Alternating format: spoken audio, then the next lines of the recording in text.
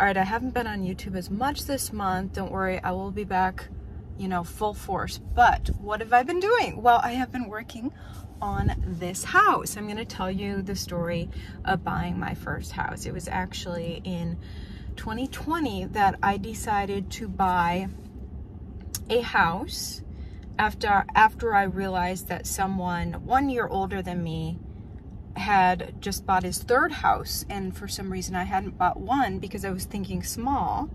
So I decided I, at my age, was totally capable of buying a house. Mindset is everything first. And then uh, I was able to come up with the down payment and and by I was in the middle of closing on the house when things went south with Fox Corp.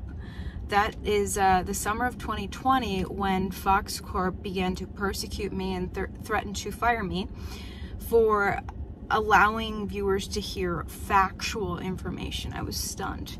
Um, they were also sending threats associated with my pro free speech stance. Suddenly, the corporate news didn't want to be pro free speech, although free speech is the essence of free press.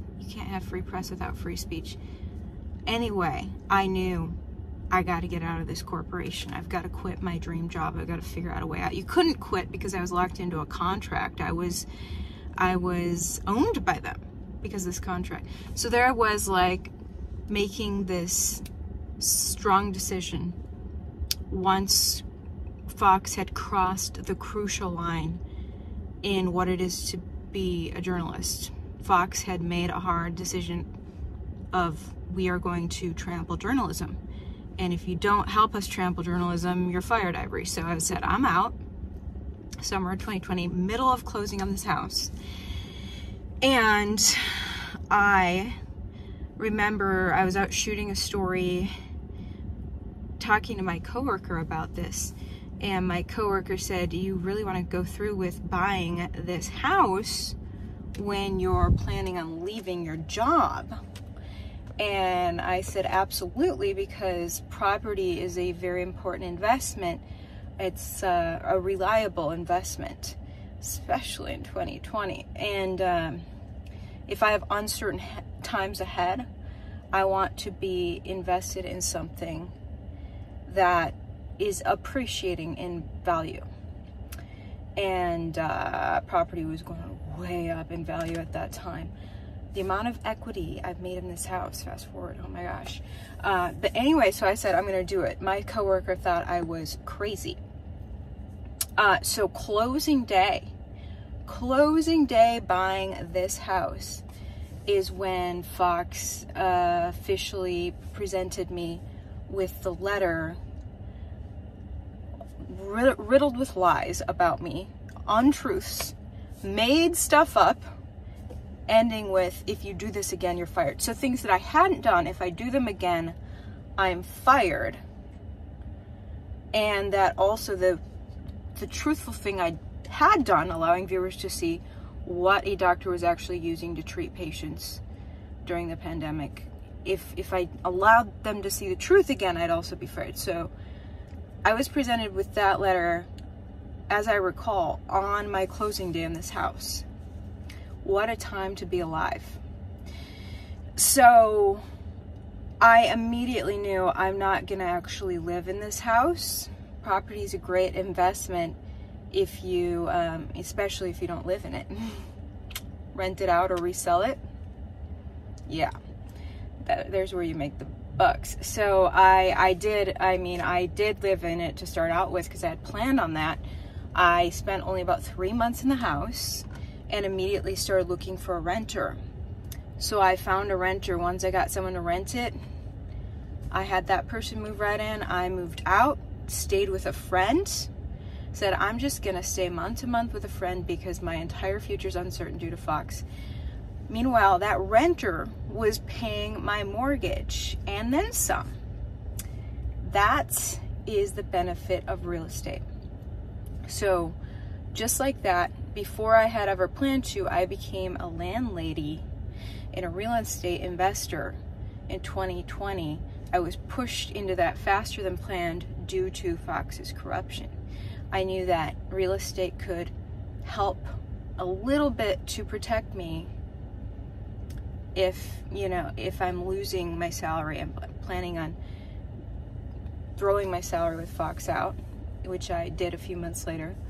Um, at least I could get a little bit of side revenue from this house and if need be resell it because month over month property was just increasing in value equity, equity gains just crazy during that time um, just in the past few months now that we're in 2023 just in the past few months uh, property value has more e evened out and stopped catapulting upward but by this point 2023 the equity I've gained on this house, I'm so grateful for. It was such a blessing that I dove into pro property in a very uncertain time in my life and my career.